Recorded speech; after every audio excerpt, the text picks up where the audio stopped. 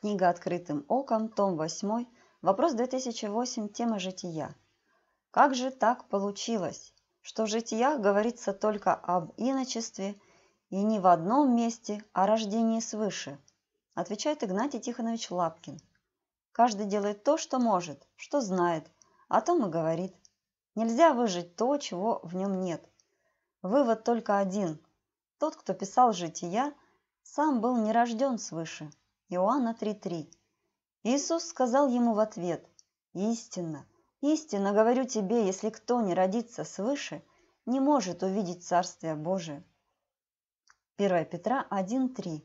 Благословен Бог и Отец Господа нашего Иисуса Христа, по великой своей милости возродивший нас воскресением Иисуса Христа из мертвых к упованию живому.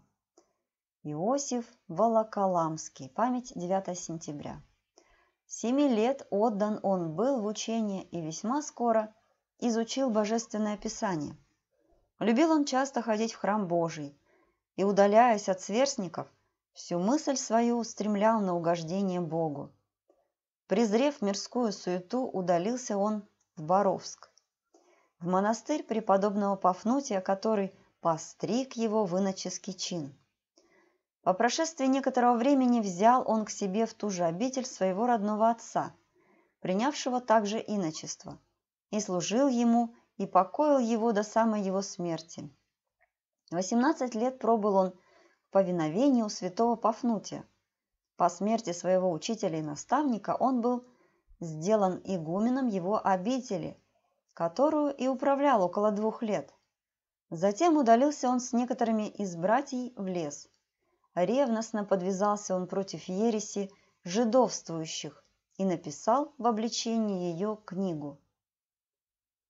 Зима казалась бесконечно длинной, с ее морозами, заносами и тьмою. Кто победит ее, какой герой былинный? До Пасхи не дожить, умрешь зимою. Но незаметно воробьиным скоком дни удлинялись, календарь тоньшал, по градусу теплело за порогом, Лед двухметровый разом затрещал. Вдруг в одночасье, в одночасье вышла перестройка. Гласность, Горбачев, раскрепощенный смех. Плен вавилонский оказался пройден, и реабилитация внезапная на всех. Змей-полиглот, шестая часть от суши, да хвост еще на море океан, океане. Стал распадаться, не жилец без стужи. Дня не прожил без крови и обмана. Гроссмейстеры, израильские слуги, Гиганты зла, духовные уроды, Сглотнули Русь, краснели от натуги, Давились жертвами с клеймом враги народа. Когда бы не Христос, священное Писание, Не откровение Духа Всесвятого, Кто прозумел и догадались сами, Что это за грехи, и нам не ждать другого. А то, что гении, вершители эпохи, Нероны, Ленины и Гитлеры вдобавок, родились, родись они пораньше, так бы и подохли в безвестности среди колхозных шавок.